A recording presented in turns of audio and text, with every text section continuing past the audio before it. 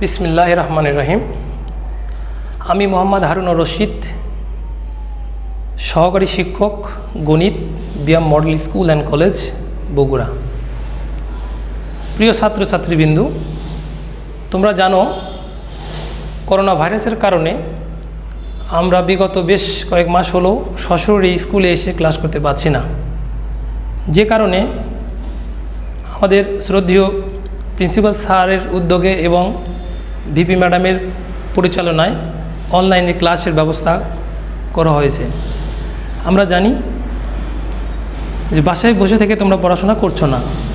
যে কারণে এই উদ্যোগটি খুবই যুগ উপযোগী এবং প্রয়োজনীয়। সেই জন্য আমি এখানে হাজির হয়েছি আজকে তৃতীয় শ্রেণির প্রাথমিক গণিত এবং ষষ্ঠ অধ্যায় নিয়ে আলোচনা করার জন্য। আমি এখন আলোচনা করব যোগ্যতাভিত্তিক প্রশ্ন নিয়ে। অর্থাৎ এই ষষ্ঠ অধ্যায় থেকে তোমাদের যোগ্যতাভিত্তিক প্রশ্ন হয়ে থাকে। অনেকের কাছে এই যোগ্যতাভিত্তিক প্রশ্ন অনেক কঠিন মনে হয়ে থাকে। আসলে যোগ্যতাভিত্তিক প্রশ্ন কোনো কঠিন নয়। প্রশ্নটি যদি সুন্দর করে বুঝতে পারো, তাহলে দেখা যাবে উত্তর অধিকাংশ প্রশ্নের মধ্যেই লুকায়িত থাকে। কিন্তু অনেকের মধ্যে ভীতি আছে যে যোগ্যতাভিত্তিক প্রশ্ন মনে হয় অনেক কঠিন, বুঝি না, অনেক প্রশ্ন করে। তোমরা একটু মনোযোগ সহকারে আমার কথাগুলো শোনো এবং দেখো এবং বোঝার চেষ্টা করো। আশা করি সুন্দরভাবে বুঝতে পারবে, ইনশাআল্লাহ। চলো তাহলে আমরা এখন আমাদের আলোচনায় চলে যাই। সবাই একটু বোর্ডের দিকে খেয়াল করো। এক নম্বর যোগ্যতা ভিত্তিক প্রশ্ন নমুনা। নমুনা এই জন্য বলা হয়েছে প্রশ্ন এরকমই হবে। এই প্রশ্ন হুবহু না হতে পারে। যেমন দেখো, আমি একটা প্রশ্ন এখানে লিখেছি, পিতার বর্তমান বয়স পুত্রর বয়সের চার গুণ। ছয় বছর পূর্বে পূর্বে মানে আগে, পুত্রের বয়স ছিল চার বছর। এটা আমাদের প্রশ্ন, উদ্দীপক। সেখান থেকে আমি প্রশ্ন করেছি, ক, বর্তমান পুত্রের বয়স কত বছর? দ্বিতীয়, খ, বর্তমান পিতার বয়স কত? গতে লিখেছি, দশ বছর পর পিতার বয়স কত? তাহলে এখানে আমার তিনটা প্রশ্ন আমি করেছি ক, খ, গ। এই যে ক, খ, গ আকারে লেখা, এটাকেই বলা হয় যোগ্যতা ভিত্তিক প্রশ্ন। অর্থাৎ এটা চারটা হতে পারে, পাঁচটা হতে পারে, তিনটা হতে পারে, এগুলোকে আমরা যোগ্যতা ভিত্তিক প্রশ্ন বলি। তাহলে আমরা এখন দেখি এক নম্বর অর্থাৎ ক নম্বর প্রশ্নের উত্তর। এইদিকে খেয়াল করো। ক নম্বর প্রশ্নের উত্তর, পুত্রের বর্তমান বয়স চার যোগ ছয় সমান সমান দশ বছর। উত্তর দশ বছর। উত্তর দশ কেন হলো? তোমরা একটু বোঝো। ছয় বছর পূর্বে পুত্রের বয়স ছিল চার বছর ছয় বছর পূর্বে। তাহলে বর্তমান বয়স কত? বর্তমান বয়স তাহলে হচ্ছে যে যে ছয় বছর যেহেতু পূর্বে ছিল সেই জন্য ছয় এখানে আমরা যোগ করে দিয়েছি। ছয় যোগ চার। বর্তমানে যেহেতু আমরা চাইছি, ছয় বছর পূর্বে ছিল চার বছর আর বর্তমানে আসতে গেলে যে ছয় বছর এখানে যোগ করতে হলো চার আর এই ছয় মোট দশ বছর।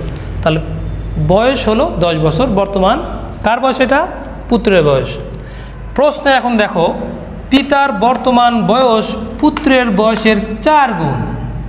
তাহলে পিতার বর্তমান বয়স, পুত্রের বর্তমান বয়সের কয় গুণ? চার গুণ।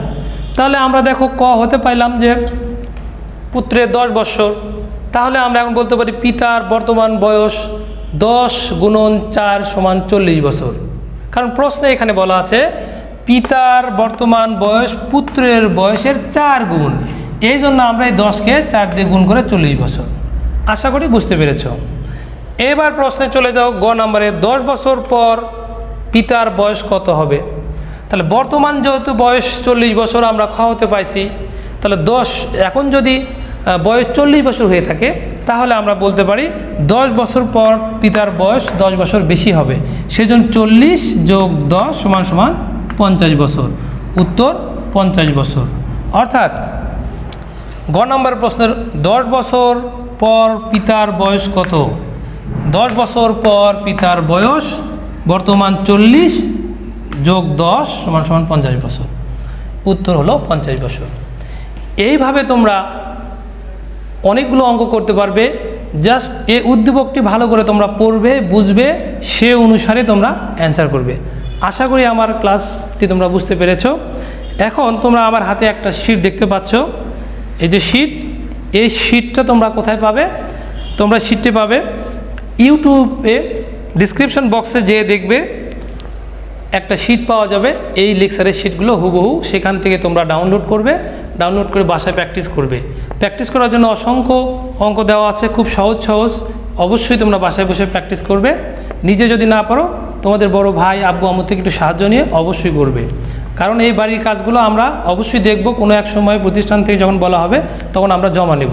সেই জন্য তোমরা গুরুত্ব সহকারে অঙ্কগুলো বাসায় করবে। আশা করি আমার ক্লাস তোমরা বুঝতে পেরেছ। আজকে এই পর্যন্ত, ভালো থাকো, সুস্থ থাকো, সবাই ঘরে থাকো, বাইরে যেও না। একান্ত প্রয়োজন ছাড়া যদি বাইরে যাও, অবশ্যই তোমরা মাস্ক পরবে। বাইরে থেকে এসে তোমরা সাবান দিয়ে হাত ধোবে এবং হ্যান্ড স্যানিটাইজেশন ব্যবহার করবে। সবাইকে ধন্যবাদ। আসসালামু আলাইকুম।